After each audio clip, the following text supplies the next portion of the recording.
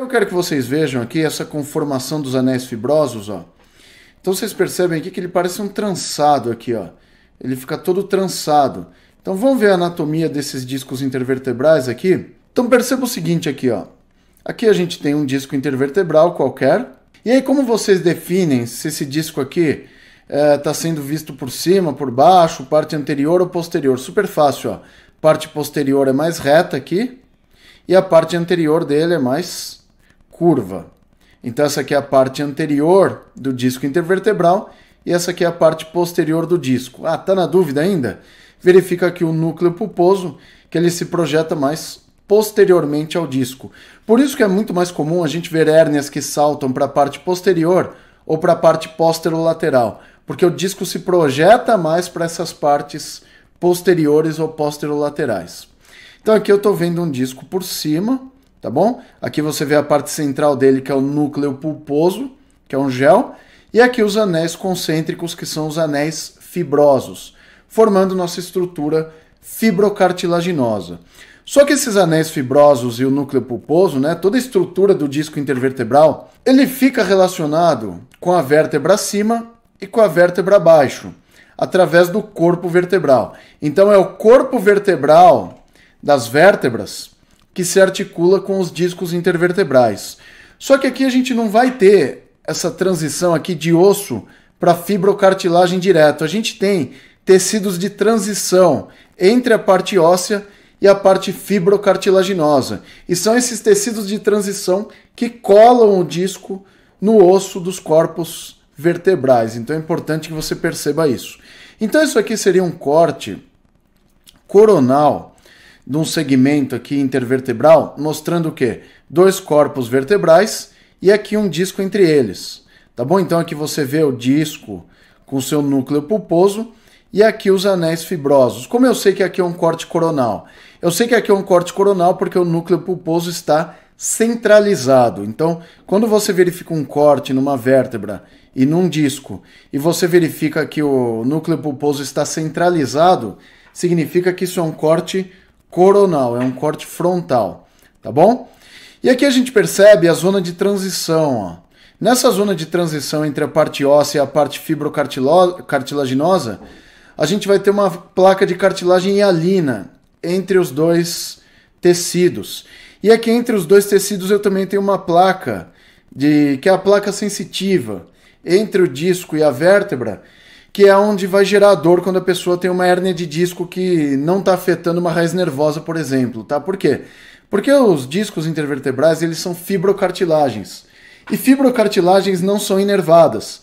Só que essa porção de transição entre a parte óssea e a fibrocartilaginosa ela é inervada, então essa placa de transição vai ser inervada. E ela pode doer um pouquinho, tá? Quando a pessoa tem a ruptura dos anéis fibrosos, tá? Então isso pode se estender aqui e gerar uma dor. Só que a dor maior que a pessoa sente é de compressão das raízes nervosas. E aqui nessa imagem de baixo aqui a gente tem um corte sagital, tá bom? Então nessa imagem você vê os três cortes do disco aqui, ó. Um corte transversal, um corte frontal ou coronal e aqui embaixo, o corte mais famoso do disco intervertebral, que é o corte sagital. Como que eu sei que é um corte sagital? Olha só, tá vendo que o núcleo pulposo ele fica projetado mais posteriormente aqui, ó? Então o que, que eu tenho aqui, ó? O núcleo pulposo, os anéis fibrosos aqui. Aqui eu tenho o corpo vertebral acima e aqui eu tenho o corpo vertebral abaixo. Anteriormente ao disco intervertebral e o corpo, eu vejo o ligamento longitudinal anterior aqui, ó, então isso aqui é uma representação do ligamento longitudinal anterior, e aqui é a representação do ligamento longitudinal posterior. Então por isso que nessa imagem eu estou vendo um corte sagital, eu vejo também aqui os ligamentos longitudinais. Então perceba como o ligamento longitudinal posterior e o ligamento longitudinal anterior, eles conferem reforços, tanto no sentido anterior quanto no sentido posterior do disco. Relembrando que o ligamento longitudinal posterior ele é mais fino e mais estreito, e o ligamento longitudinal anterior ele é mais largo e ele é mais espesso também que o ligamento longitudinal posterior, ele dá um reforço maior no sentido anterior do disco. Então é por isso que é mais difícil as hérnias saírem para o sentido anterior, porque o disco é muito mais reforçado no sentido anterior do que no sentido posterior. Então, não é incomum a gente ver hérnias posteriores acometendo a medula espinal. E aqui na zona de transição, entre a parte óssea e a parte fibrocartilaginosa, a gente tem aquela placa cartilaginosa de cartilagem hialina, e nas partes mais distais, né, na parte mais de fora dos discos intervertebrais, né, entre os discos e as vértebras, a gente tem um disco epifisário também, a gente tem um anel epifisário, tá? Nessa porção mais externa aqui. Mas ambos são, são elementos cartilaginosos, tá? A gente pode considerar que o elemento de transição entre o corpo vertebral e a fibrocartilagem do disco é uma cartilagem hialina, tá? Onde na sua porção central, próximo ao núcleo, ela é uma placa de cartilagem, tá? Então ela é um pouco mais forte, tá? Para resistir aqui à pressão do núcleo. E aqui eu tenho um anel epifisário aqui também de cartilagem hialina para conter os anéis fibrosos. Isso é para evitar que os anéis fibrosos avancem sobre os corpos vertebrais. Lembrando que os corpos vertebrais eles são compostos basicamente em sua maioria por osso esponjoso, então os corpos vertebrais também são moles, tá bom? Então eles ajudam no amortecimento de impactos na coluna junto com os discos intervertebrais.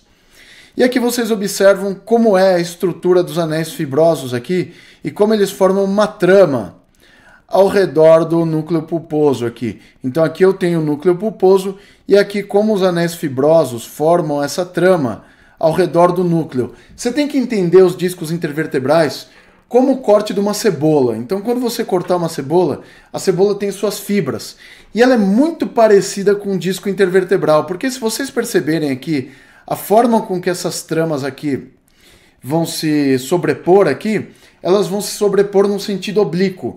Então a gente tem aqui ó, os anéis fibrosos concêntricos ao núcleo pulposo, e aí aqui eu tenho o anel fibroso, aí embaixo eu tenho outro anel fibroso, então eles se cruzam. Então cada anel fibroso vai formar uma trama cruzada dessa forma, tá bom? Então eles vão formar um X. Dessa forma, formando essa trama em X que vocês conseguem ver aqui no programa muito bem. Eu vou pôr a parte lombar para vocês verem melhor aqui, ó. E aí vocês conseguem ver essa trama aqui, ó. Então tá aqui o disco, ó. Então olha como essa trama dos anéis fibrosos é feita, ó. Então eu tenho uma trama externa oblíqua e outra trama interna oblíqua também. Aí a trama de dentro elas vão se sobrepondo dessa forma aqui. Tá? Então é como se fosse uma costura que a gente tem aí. Isso dá grande resistência aos anéis fibrosos. Então é por isso que os discos intervertebrais, eles têm muita resistência, tá bom?